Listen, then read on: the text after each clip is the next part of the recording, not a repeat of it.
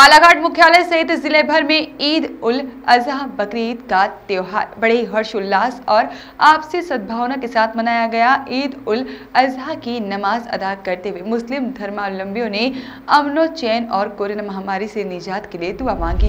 Covid 19 के चलते पिछले वर्ष की तरह इस वर्ष में बकरीद का त्यौहार कुछ बंदिशों के साथ मनाया गया। इस वर्ष भी कोविड 19 के चलते सामूहिक रूप से ईदगाहों में अदा किए जाने वाली विशेष नमाज़ सहित अन्य आयोजन नहीं हो सके। मस्जिदों और मदरसों में केवल उन्हीं लोगों ने विशेष नमाज़ अदा की जिन्हें प्रशासनिक अनुमति मिली थी और इस्लामिक धर्म प्रेमियों ने अपने अपने घरों में बकरीद की नमाज़ अदा की। इस दौरान प्रशासन की चाक चुबंद व्यवस्था देखने को मिली। ईद उल अजहा इस्लाम धर्म को मनाने वालों का दूसरा बड़ा पर्व है। बकरीद का यह त्यौहार कुर्बानी के तौर पर मनाया जाता है। इस अवसर पर ज़िले के गणमान्य नागरिकों, जनप्रतिनिधियों ने बकरीद की बधाई प्रेषित की। सबसे पहले तो मैं सभी ज़िले वासियों को ईद उल अजहा की बहुत बहुत मुबारकबाद देना चाहता हूँ।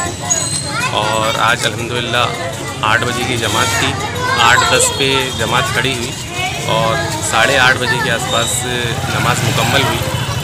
और जो गवर्नमेंट की तरफ़ से जो गाइडलाइन जारी की गई थी कल कि पचास लोग की परमिशन दी गई थी तो लगभग लगभग उतने ही लोगों ने नमाज़ अदा की है।